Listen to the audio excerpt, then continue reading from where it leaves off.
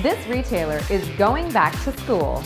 The Commons by United Supermarkets has officially opened on the campus of Texas Tech University. Doors opened on August 29th after a ribbon cutting ceremony.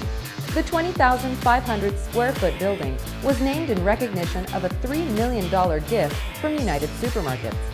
The modern two-story facility features a Mongolian-style grill, pizza store, miniature grocery shop, and bagel shop. The gift from United has been used to create the United Supermarkets Graduate Fellowship Endowment and the United Supermarkets Scholarship Endowment, providing scholarship to deserving students at Texas Tech. Part of the donation will be used for operational support of the new Texas Tech University Health Sciences Center School of Nursing. United CEO Robert Taylor stated at the ribbon cutting ceremony. United Supermarkets is really happy to have our name on this building.